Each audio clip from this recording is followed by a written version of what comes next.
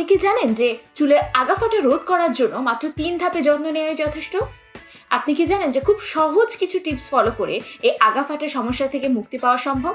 না জেনে থাকলে আজকে ভিডিওটা খুব মন দিয়ে দেখুন, কারণ আজকের ভিডিওতে আমি শেয়ার করতে যাচ্ছি যে কি টিপসগুলো আপনি ফলো করলে এই চুলে আগাফাটার সমস্যা থেকে মুক্তি পেতে পারেন এবং সেই সাথে থাকবে প্রোডাক্ট রেকমেন্ডেশনও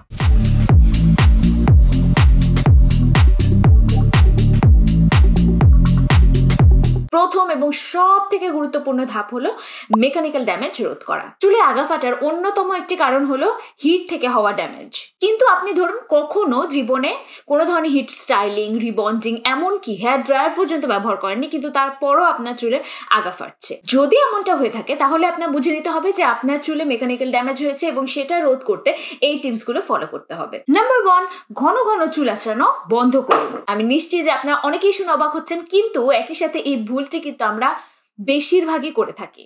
ছোটবেলা থেকে আমরা একটা মিথের সাথে পরিচিত যে ঘন ঘন চুল আঁচড়ালে অথবা স্ক্যাল্পে চিরুনি ব্যবহার করলে আমাদের স্ক্যাল্পে যে রক্ত সঞ্চালন সেটা বৃদ্ধি পায় এবং সেটা থেকে নতুন চুল গজায়। শুধু যে ধারণার কোনো বৈজ্ঞানিক ভিত্তি নেই তা না, বরং চিরুনির সাথে স্ক্যাল্পে রক্ত সঞ্চালনের কোনো সম্পর্ক নেই। আপনি চাইলে আপনার হাতের আঙুল দিয়ে আলতো করে ম্যাসাজ করতে পারেন।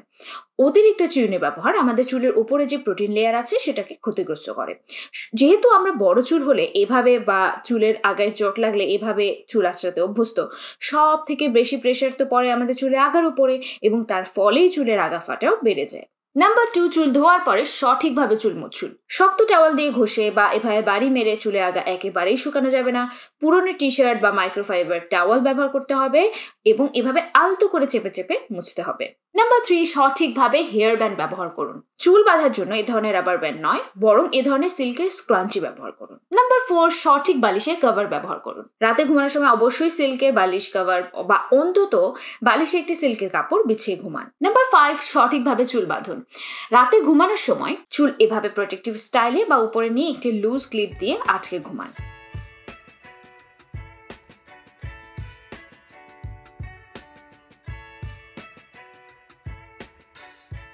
নাম্বার সিক্স সঠিকভাবে শ্যাম্পু করুন। আমি জানি এই কথাটি আমি আরও অনেকবার বলেছি, কিন্তু প্রতি ভিডিওতে নতুন নতুন দর্শক আসেন বা পুরনো দর্শকদেরও একটু মনে করিয়ে দেওয়া দরকার যে চুলের আগায় কখনোই শ্যাম্পু ব্যবহার করবেন না।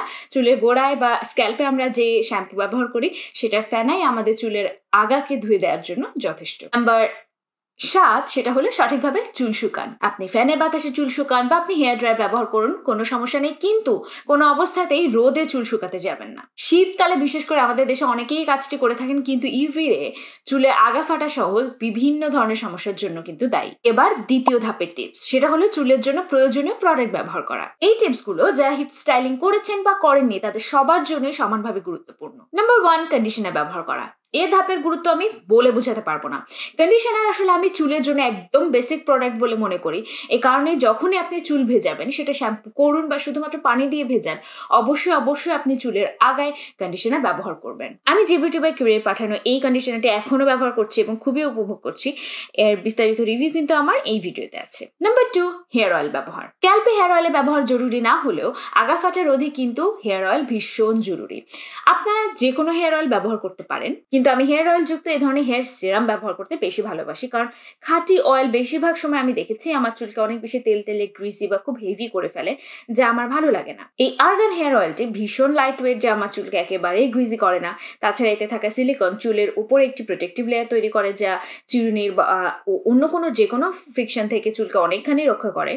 প্রতিবার চুল আঁচড়ানোর আগে চুলে আগায় খুব সামান্য পরিমাণে এভাবে অয়েলটি নিয়ে আলতো করে চেপে চেপে যদি চুল আঁচড়ান, তাহলে এটি শুধুমাত্র যে চুলে আগা ফাটে রোধ করবে তা না, চুল ভাঙাও কিন্তু রোধ করবে। এ কারণেই আমি লাইট ওয়েট অয়েল পছন্দ করি, কারণ বারবার যদি কোনো ভারী অয়েল আমি এভাবে আগায় ব্যবহার করি, তাহলে কিন্তু চুল একেবারেই ভারী হয়ে যাবে। এই অয়েলটি আমার খুব ভালো লেগেছে, তাই পরের টিপসে যাওয়ার আগে ধন্যবাদ দিয়ে নিতে চাই যে বিউটি বাই কিরেকে এই প্রোডাক্টটি পাঠানোর জন্য। বাই দ্য ওয়ে এই সুযোগে বলে দিই, যে বিউটি বাই কিরেতে কিন্তু biggest sale of the year চলছে, যেটা শুরু হবে সাতাশ তারিখ থেকে একত্রিশ তারিখ পর্যন্ত এবং এটা কিন্তু খুবই দারুণ একটি সুযোগ হয় আপনাদের আপনাদের পছন্দসই প্রোডাক্ট কেনার জন্য।